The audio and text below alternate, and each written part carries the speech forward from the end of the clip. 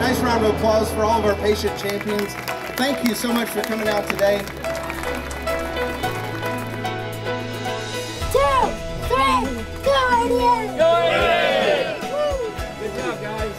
Today's a big day for Nationwide Children's Hospital. It's a big day for Nationwide. Most importantly, for our patient champions. We have five patient champions here today. Are you having fun today? Yes. I've been waiting for this moment because of him, Dale.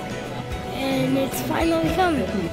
She represents the, the attitude and personality of all these kids, and uh, we're happy that we have the opportunity to represent them today. We've got Nationwide Children's Hospital Patients Champions with us. It just shows how much Dale cares about the hospital and all of the patients that are in it.